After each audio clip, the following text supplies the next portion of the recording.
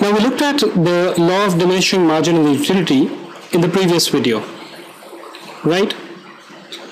Just to recap, the law says that as the consumer consumes more and more units of a particular commodity, the additional satisfaction that he receives from each and every additional commodity keeps on decreasing.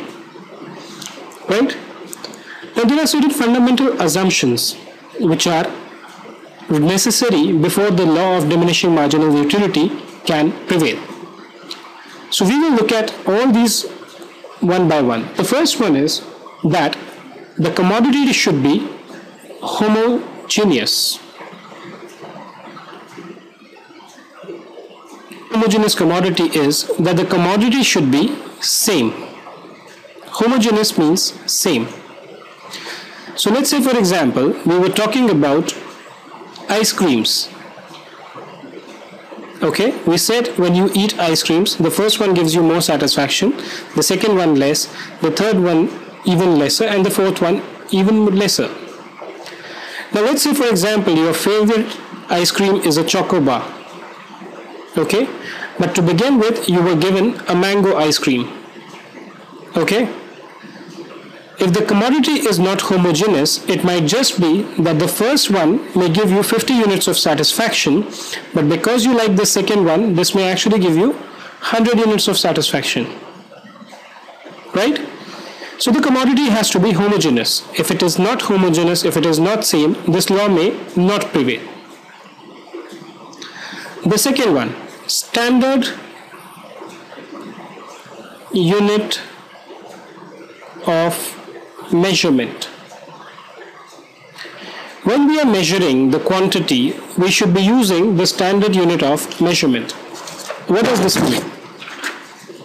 This means that you cannot use irrational units of measurement.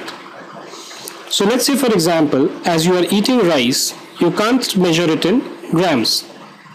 Should be in kilograms. For purchase of gold or diamonds, the consumption cannot be measured in kilograms. That's not the normal commodity which is used. You have to use the standard unit.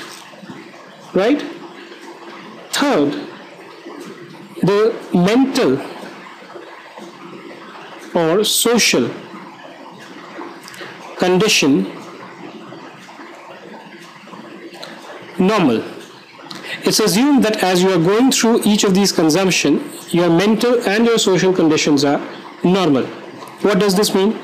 If suppose you have a choco bar or if suppose you have a mango, you are very sad. It's likely that you may not get actually this 50 units of consumption as well. You might just get 30. Right? While while you were having this, suddenly your results were declared. It was told that you've secured 95%. You are very happy. So the satisfaction you get from the second one is even higher. So your mental and social conditions are assumed to be normal. And the last one is continuous consumption. There should be a normal gap, the time gap between the first and the second, the second and the third, and the third and the fourth should not be there. Or if it is there, it should not be very large. So let's say for example, if you have one ice cream in the morning and second in the afternoon, it might just be that because in the afternoon it is very hot, okay, you might just enjoy the second one more. So the consumption has to be continuous, right? With these assumption, the law of marginal utility, the law of diminishing marginal utility will stay. Okay? We hope you like this video. If yes, you can subscribe to our channel to stay aware of many more of these videos which are coming.